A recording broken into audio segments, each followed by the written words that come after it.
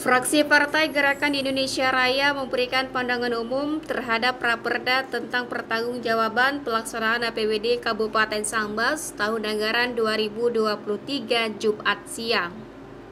Pandangan umum tersebut disampaikan Asmuli dalam rapat paripurna yang dipimpin Wakil Ketua DPRD Sambas Ferdinand Solihin di ruang sidang DPRD Sambas.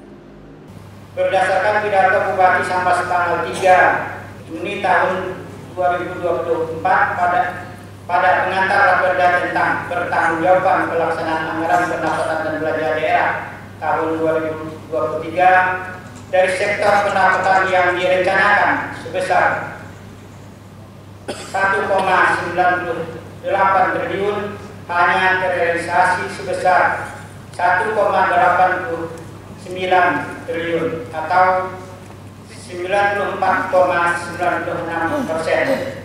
Ini lebih baik dari realisasi belanja tahun sebelumnya yang hanya mencapai 93,44 persen.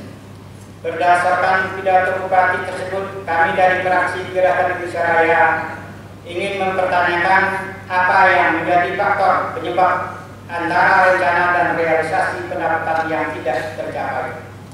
Selain hal tersebut, kami dari fraksi Gerakan Indonesia Raya tentu memberikan apresiasi yang sebesar-besarnya kepada Bupati Sambas karena dengan keterbatasan anggaran dalam APBD, Bupati mampu memberikan pembangunan melalui skema pembangunan non APBD, baik pembangunan jembatan, surau, sumur maupun bantuan-bantuan sosial yang langsung diberikan kepada penerima manfaat khususnya masyarakat miskin. Tentu kami berharap dengan terobosan-terobosan pembangunan ini akan terus dilakukan untuk dapat dirasakan secara langsung dampaknya oleh masyarakat.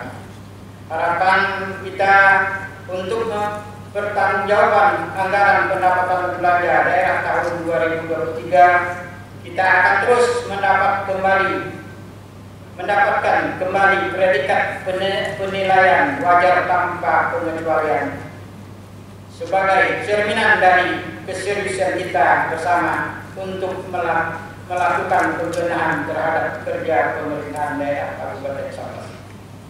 Demikian pandangan ini kami sampaikan atas perhatiannya kami ucapkan terima kasih. Sambas 14 Juni tahun 2024 Ketua Anwari Ekos Sekretaris Budion menyapa saya sendiri Asmuli.